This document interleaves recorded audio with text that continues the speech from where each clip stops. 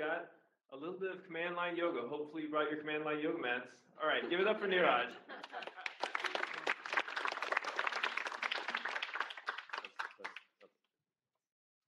Um, so welcome to command command line yoga. Um, yo- this is like a you know it's a mathematical thing. If you spend a lot of time around mathematicians, you'll hear them say that they're going to do some kind of yoga a lot, and it introduces like uh, disbelief because mathematicians generally don't look like they spend a lot of time doing yoga, and really what they mean is that they're doing this kind of a thing. So, um, like basically, mathematical yoga is just um, it's it's like a series of things that you do that don't quite qualify as a skill, but that are like you know somewhat relaxing. And uh, uh, and I it, it occurred to me that actually building command line utilities making command line interfaces to your code actually has the same property of uh, it's not really a skill and it's actually relatively easy to do, but not enough people really do it uh, when they're writing Python code. Uh, if you if you spend a lot of time around data scientists, you might actually be familiar with like this sort of extreme version of like what people do instead of writing command line utilities, which is like the production Jupyter notebook. Um, and so, you know, basically data science teams end up having like a bunch of Jupyter notebooks that they just uh, duplicate, modify, you know, put some parameters on the top, and then like they just run them against production like all the time. Uh, so this is this is just my attempt to make that situation better. Uh, it's supposed to be relaxing. I was thinking of having music actually with this talk, but I thought that would take it over the top. So yeah. But let's uh, let's actually do some command line. So let's say that we have a very simple Python function. So this is this is a Python function that indexes the uh, the occurrences of words in a document. It doesn't do any fancy tokenization or anything. Literally, it just oh, it's here. Um, it takes a, a string, which is the document body, and it ret- returns a dictionary that maps each occurrence of a word, lowercase, uh, each occurrence of the word in the in the string to the list of uh, positions, that, you know, at which that word occurs in the document. Simple. Um, let's say that I want to test this function. I could write unit test, blah blah blah. I don't really like to do that. I have a bunch of like text files on my computer, and I want to use those text files to um, to test to test this function. Uh, so I write a simple command line interface. Uh, how, how many of you regularly use the argparse library to write command line interfaces to your code? Uh, less than half of you, so I, I hope that this, this talk will actually end up being useful. Um, okay, so here's what I did, because uh, live coding can lead to a lot of, I mean, it can lead to disasters. I made some videos. Would you guys prefer for me to write the code or actually show you the videos? You can choose, choose your own adventure. Code? Video? Video, okay, yeah. All right, let's look at the video. Yeah. Okay, so here's uh, here's me from a week ago writing a video. So this is my command line interface. Uh, I checked the help. I have a bunch of texts by Charles Darwin that I downloaded from Project Gutenberg, and uh, I'm just indexing indexing all the stuff in there and uh, writing it out to this JSON file. And this is roughly what it looks like. I just did a head on the JSON file so that I didn't get like a bunch of output because Darwin Darwin was verbose. Um, so that's it was relatively it was very easy to write this command line interface. Um, it was just a few lines of Python code. Um, actually, this is an error that I always make when I when I write when I you know make these interfaces. Uh, this messes up the usage string, so this should be a keyword argument that says description. My bad. Uh, but basically, you just create an, an argument parser used from the argparse module, and you just add an argument. I've added a positional argument to my command line interface that's called infile. Um, it accepts a file. Uh, it accepts a file and opens it as a read-only you know, buffer. And it, actually, I haven't set a default here yet, so my documentation is wrong. What else is new? Um, once I've defined the once I've defined my argument parser, I parse the arguments from the command line. That's what this parseargs function does. Uh, you know, the method on the argument parser, and then I just read. I just read the entire body of the document from the file, and I dump the output of index of index document to stdout. That's it's it's just didn't take very much time to write. It's very easy to write a command line interface in Python. That's uh, I hope I've convinced you of that. I don't know if I have, but uh, okay. but uh, you know, normally if I'm testing, I don't have like a bunch of text by Charles Darwin available to me, and I like to use Bash a lot. And when I'm testing, I just want to be able to test with uh, with any old string that I come up with off the top of my head. So I'd like to be able to pipe the text that you know, pipe the random text that I came up with to test against into my command line utility. So this is this is sort of the next thing that I would like to do. It's the next asana, right? Um, how do you do that? So in the previous version, I was just telling uh, my command line utility to open open the file that was passed um, that was passed to it in as a, as a, in read only mode and, and, you know read the contents of it. Uh, that won't work anymore because uh, that won't work when I stream when I stream you know when, when I pipe my text to the command line utility because now it has to read from STDIN. Um, that's actually very easy to to handle in argparse. So if I want to just pipe input into my command line utility from you know from something else in my in my shell, all I have to do is in this case it's a positional argument. So I just say that the number of when so there's this nargs keyword argument in uh, you know when I add an argument to a parser, I can specify number of arguments is question mark as a string. What this means is uh, it's either zero or one, and uh, so if it's if the if the number of arguments is one, then it behaves the same way that this did. So it, I can actually access that on this args object that I parsed from the command line. If it's zero, then I just set a default of uh, sys.stdin. That's that satisfies the same file interface. So uh, I can I can work with that the same way that I work with a file. Um, so I parse the. So basically, I, the only two things that have changed are these two lines uh, from the previous version, and uh, and then I just do the same thing. And uh, I have a before and after video. Let me show you the after video. You don't need to see the before video. Oh, in this case, I, I just concatenated everything that was in my corpus and then I streamed it. Is it possible to zoom? Yeah, sure. Sorry. Uh, is that good? Yeah. Uh, I can rewind. I'm using a thing called asciinema. I don't know if you guys have heard of this. Um, pretty great actually. Sorry. What? asciinema to do the video, so you can record from your terminal. It, it, it's not actually a video; it's just like a recording of the keystrokes that you terminal that it then replays. Um, so so so basically, streaming works, and it's it's just as simple as using sys.stdin instead of like the actual file uh, the file pointer. All right, good. Now let's try to exit from this.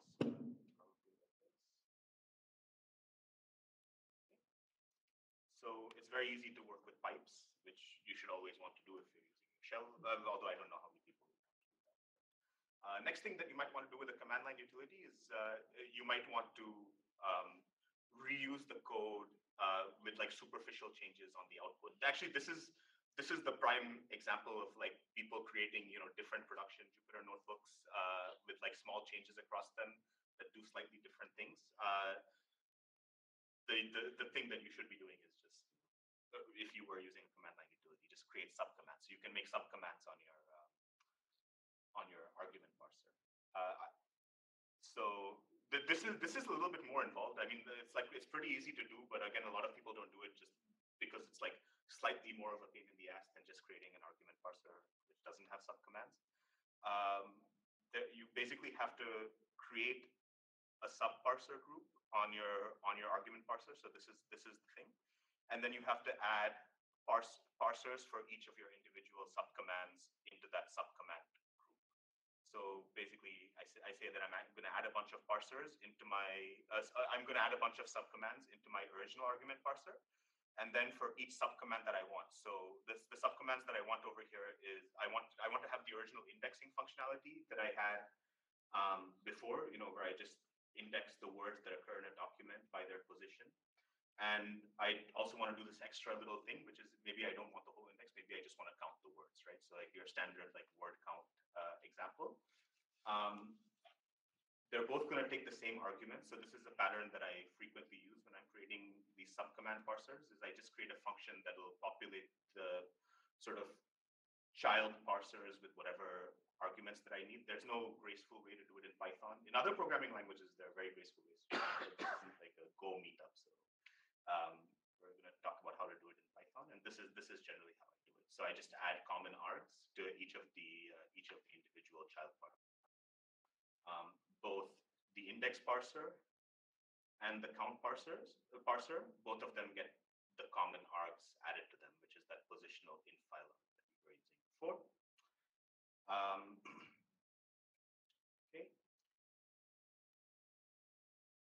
Um, the other thing that you need when you're so so this is what the argparse documentation actually recommends. Uh, when you want to handle a subcommand, you can handle it using this func uh, this func attribute on the args object. So basically, this is this is the key thing over here. So after I parse the arguments, I call this func method of args on args itself, and that's what actually handles the subcommand. Um, and I set the this func handler on each individual parser like this. So I use just set defaults. So the count parser has a count handler, which basically just does an indexing. And then before it returns the results, it takes the length of the index array rather than the index array itself.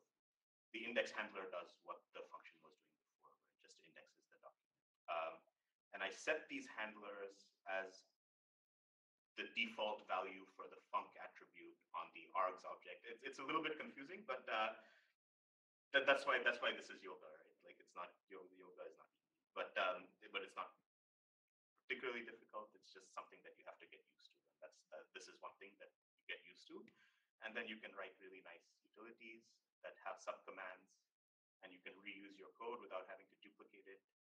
And this is what it.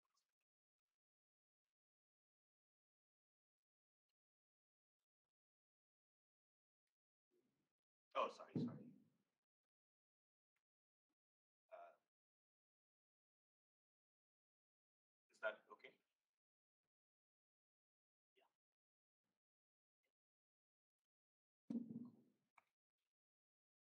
So that's subcommands. Uh, the next thing you might want to do is you might want to add uh, flags, like uh, so flags that signify some sort of a Boolean condition if they're present or absent. Um, so in this case, there's a very natural sort of flag that we might want to add on the count subcommand, which which is that we might want to ha- we might want to index the document separately from actually doing a word count. So we might want to store the index in like you know we have JSON format anyways. We might want to store the index and then do a count on the on the stored index rather than the original document. And we might also want to sort the results of the count by by the frequency with which the words occur. Uh, so doing this is uh, quite simple. You just add, so before we added a positional argument, uh, you know, called count onto the count parser. Now we're going to add uh, sort of this option argument, dash dash index, and we're going to we're going to specify that action is stored true. So what this tells argparse is that when it parses the arguments from the command line, if it sees dash dash index, it's not going to try and find a value to index. It's just going to store whether index appeared or not. So in the arg namespace object, you get either true or false, depending on whether or not dash dash index was passed on the command line. Same thing for sort, and this, that's what this looks. This is what.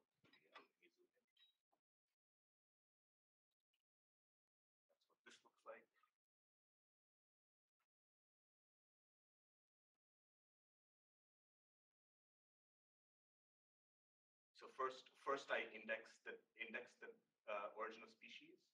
I store the index in origin of species.json, and then I try to count the number of uh, the the number of occurrences of each word uh, from the index.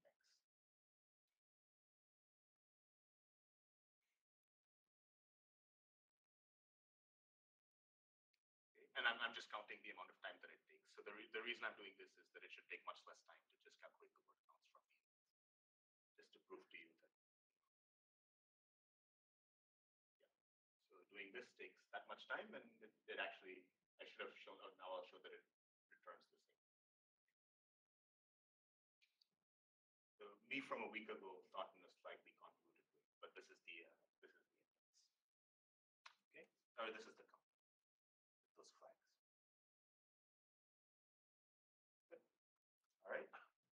next piece of yoga is, uh, oh, actually, so something interesting happens, which you would have seen when I reached the end of the that example, but there's no reason to go through that video again.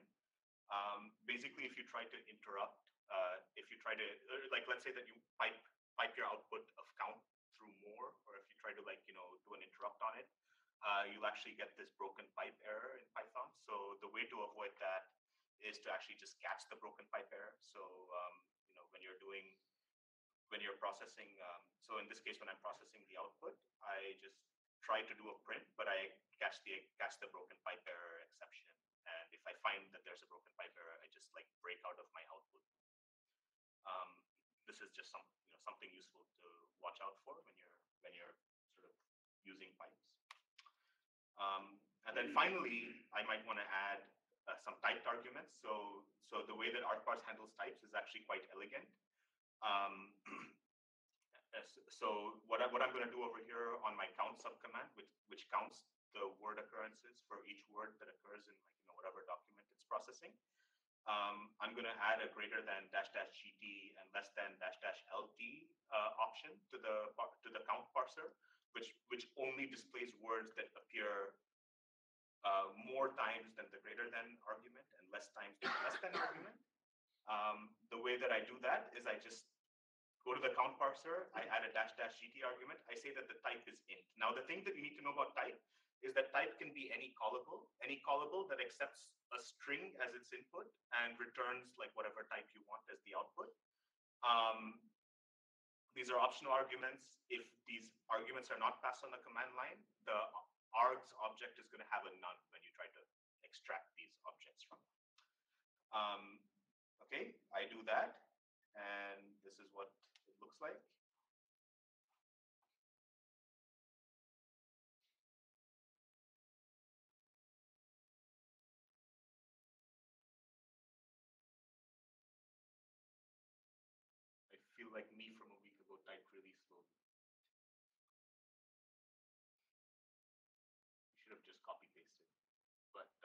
Only shows uh, words that occurred with frequencies between 500 and 1000.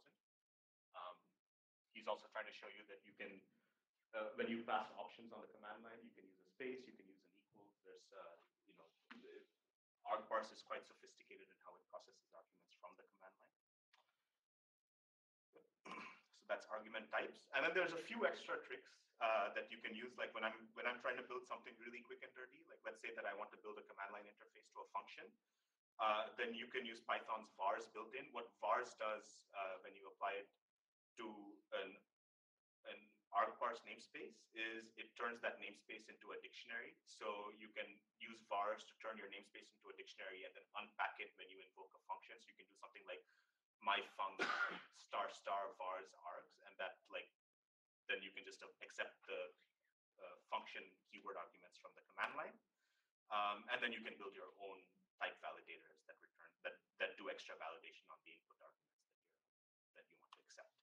Um, all right, that's uh, that. That's the end of our yoga session. And if you want, you can uh, you can go to CL Yoga. You can go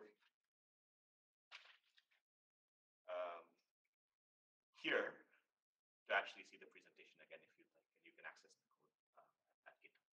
Thank you. Thank you, Neeraj. All right.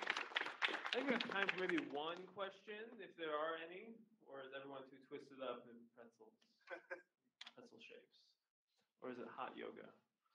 I don't know. I didn't bring my yoga jokes. yes, one question. You briefly mentioned that um, you thought Go had a very elegant way of creating command line interfaces. Could you tell us a little bit about? Very briefly. Uh, Co- Cobra. I, I like the Cobra library. The, the Cobra library is a really great uh, uh, library that you can use to create command line interfaces. Uh, kubectl uses it, Helm uses it. Like infrastructure guys love Cobra, so that's the that's the one. Yeah, it's it's interesting because uh, this is like argparse is in the standard library, but at the same time, so is and uh, so getopt. There's like technically three command line parsing uh, libraries in the standard library, and there are even more outside. So um, Python has many options for you to choose from, and not just ones that start with dash dash. All right. Okay. Well, thank you very much, Neeraj. Thank you.